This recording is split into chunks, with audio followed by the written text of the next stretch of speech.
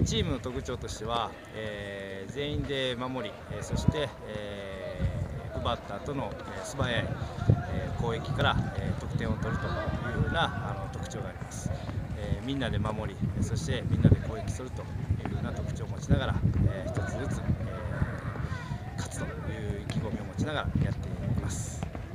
えーそして、えー指導方針としては、えー気づく気づかす感じる感じさす、えーこの言葉をモットーに、えー気づける人間感じさせる人間気づかす人間感じる人間というふうな人間育成をしながら、えー指導をしている次第です、え今後の目標としては、えまずインタハイの全国大会そして選手権全国大会に出場し、えー一つでも多く、界を盛り上げる、えー一つでも多く、え勝ち上がれるような、え目標を持ちながら日々努力しています。